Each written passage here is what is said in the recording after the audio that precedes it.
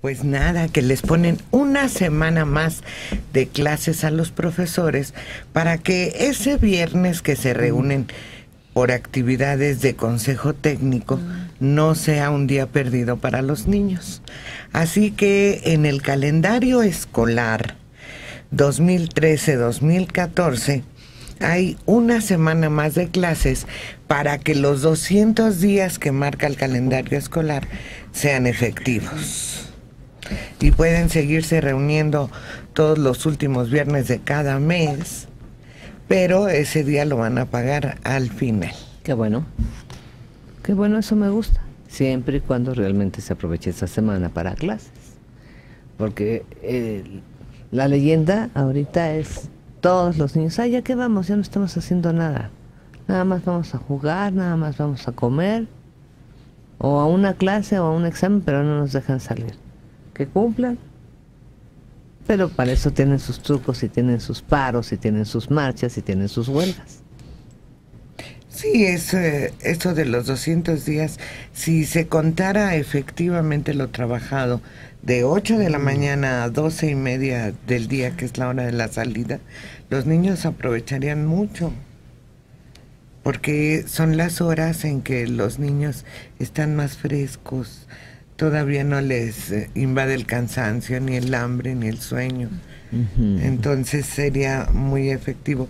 Pues ya tienen una semana más en el calendario escolar para este año, ya está confirmado por la SEP, ya está publicado el calendario con todos los puentes y días festivos requeridos para un buen año escolar. Hay una ley de Parkinson que dice que el trabajo que es eh, requerido se expande hasta ocupar el plazo que tienes para hacerlo. sí, no se hace más trabajo, se hace el mismo. Sí, sí, sí. Si te dan más plazo, es el mismo trabajo. Nada más, lo único que sucede es que te vas a tardar más en dar resultados. lo vas alargando, demorando, sí. Pero mira, el programa escolar en mis tiempos estaba perfectamente adaptado a los días hábiles. Era como ibas haciendo tu plan semanalmente, entonces eh, los ajustes eran mínimos y regularmente se hacían en el semestre. Para que te quedara un mes o por lo menos unas tres semanas para ir rellenando los huecos que quedaban en los niños los niños que no habían podido cumplir un objetivo, entonces trabajabas con mayor énfasis en esos niños que les quedaba algún algún problemilla por resolver en cuanto al curso completo. Y entonces en el momento de llegar a las evaluaciones, los niños llegaban prácticamente en una condición igual, con la posibilidad de obtener un resultado aceptable. Y eso era una ventaja, pero se sigue haciendo lo mismo el semanario, el plan de clase, y sin embargo los resultados no son los mismos. Algo, algo falla en todo eso. Pues es que los maestros no son los mismos. Finalmente un formato no te garantiza que se cumpla con eso. Pueden tener excelentes planes o semanarios, como les quieran llamar, y ahí puedes poner infinidad de cosas que no alcanzas a cubrir, o porque no estás preparado o porque no te interesa. Y desafortunadamente los niños se acostumbran a eso. A la hora que un maestro quiere poner disciplina, quiere pedir tareas, quiere dar nuevos conocimientos, se rebelan y logran quitar a un maestro.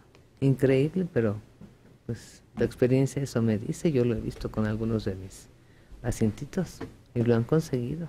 ¿Por qué? Porque les exigía mucho. ¿Por qué? Porque les dejaba tareas. Mientras que otros muchachos, sobre todo de escuelas públicas, lo que piden es eso, más clases. Pero surge también el temor de insistirle al profesor, no entiendo, y la forma en que muchos profesores contestan, con insultos, con ofensas, con etiquetas. Entonces se van quedando callados, no exigen, no piden no nada. Y yo te puedo hacer una maravilla en mi cuaderno, en mi semanario, no hacer nada. No, bueno, yo recuerdo que durante mucho tiempo la supervisión escolar funcionaba. De repente veías aparecer a la inspectora en la puerta. Decía, ¿Me permite su, su semanario? Aquí está. Ah, entonces la semana pasada vio tal. A ver, niños.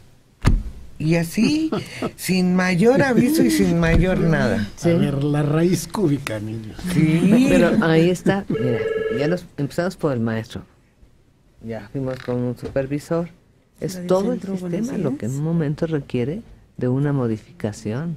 y sobre todo, en primero y en primer y segundo año, la presencia de la inspectora era constante. Chicotito. Ay, sí. Y llegaba y ponía a leer a los niños y los pasaba al pizarrón. Por lo menos se pasaba una hora por grupo. La inspectora una vez a la quincena. Y al mes o a los dos meses, examen de lectura y escritura a los niños de primer año. La inspectora no la directora. Decía Skinner. y los maestros nos moríamos del susto. ¿eh? Ese día todo nos hacía daño porque no sabías cómo iba a responder. Pero claro, eso te obligaba a estar constantemente cumpliendo con tus actividades y, y estar eh, en verdad con el grupo trabajando intensamente. Y desde luego ya hay, hay niños que no logran alcanzar el objetivo por muchas razones y otros que superan los objetivos. Pero las, las inspectoras, los inspectores estaban muy conscientes de esa situación y claro, entendían que hubiera dos o tres reprobados en el grupo. Pero siempre escogían al menso del grupo para los avances. No. Pues así eran las cosas. que sabe ahora que esté fallando? Esos fueron los días, dice una canción. Sí, sí, sí. Esos fueron.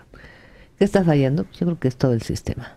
Eh. En general, desde la formación eh, de los docentes hasta el ejercicio ya de la profesión como tal y toda la escala de autoridades. Todo está fallando.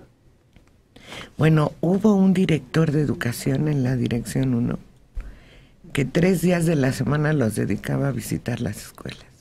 No a desayunar con los maestros, a visitar las escuelas sin previo aviso. A visitar las escuelas y entraba al grupo a ver qué están haciendo. A ver, y se ponía a trabajar un ratito con el maestro, un director de educación primaria número uno. Ese es compromiso y amor a la camiseta. Eh, a lo mejor eso es lo que falta. Compromiso y amor a la camiseta. Pues uno de los planes que fueron ofrecidos durante la campaña presidencial es la dotación de equipos portátiles de cómputo a un gran número de niños en el Distrito Federal. ha habido mucho lío por la adquisición de estas laptops, que si la licitación fue legal, que si no fue legal, que si los equipos realmente están adaptados a las necesidades de los niños, una serie de cosas técnicas que tendrán que resolverse y que no es tanto para preocuparse porque muchos niños conocen el manejo de todos esos equipos mejor que uno. Lo que habría que hacer es vigilar en qué más independientemente de tareas y consultas, los van a ocupar. Ahí es donde esos equipos tendrán obligación de tener bloqueados algunos, algunos campos, algunas páginas. Pero ahora lo que les preocupa, alguien dijo, oigan, pero si a los escolares les roban las mochilas, les quitan los tenis en el camino a la escuela, ¿qué va a pasar ahora que vayan cargando una laptop? En una ciudad en donde sabemos, todos conocemos a un niño que le hayan quitado los tenis. Los tenis o la mochila. El celular. El celular. Eso es muy ¿Qué va a pasar? ¿Cómo le van a hacer para brindar seguridad? No los pueden dejar en la escuela porque alguien, las escuelas no tienen vigilancia. ese es el problema en México, yo he visto, comparado con cualquier otro país, no se pueden dejar las cosas en el salón. No sé si hasta la calidad de las puertas, las cerraduras, el, el ambiente, la entrada a la escuela, todo es defectuoso. Cualquiera puede meterse a cualquier salón. A robar y a vaciar una escuela. Sí. Yo creo que es Pero es falta de mantenimiento, Dora. Es la pobre inversión desde el inicio. las eh, escuelas tienen puertas y ventanas de hierro. Entonces lo que hay que tener es una buena chapa y mantener esa chapa en buen estado. Algunas escuelas construidas en algún tiempo, todas tienen las ventanas con protección para que no se brinquen los niños por las ventanas justamente y todas tienen protección, eh, pero a esas protecciones hay que darles mantenimiento. No las puedes dejar ahí 30 años. Y las puertas de los salones tienen que ser macizas y cerrar adecuadamente con chapas de buena calidad para que haya confianza para dejar las cosas o lockers, lockers pero de muy buena calidad. En muchas ocasiones no se podía dejar porque había dos turnos. Entonces lo que ponías en la mañana se desaparecía en la tarde. Pero ahora ya muchas escuelas funcionan con un solo turno.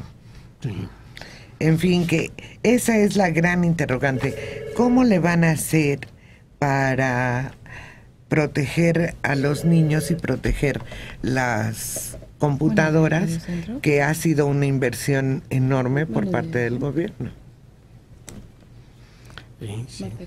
Puede ser que se sature el mercado como que sean tan comunes que ya no valga la pena robarlas y tan fáciles de sustituir. O a lo mejor como están hechas especialmente para ese programa de educación. sabemos que hay muchas laptops en el mercado, pero como fue una compra tan grande, al parecer están teniendo determinadas características para que fueran económicas. Entonces tal vez eso... Pero si los celulares de siempre se los roban, Mario. Pues Pues a ver, ¿qué se les ocurre? José Antonio Bustos Pineda tiene 53 años y nos llama de Cuautitlán Izcalli.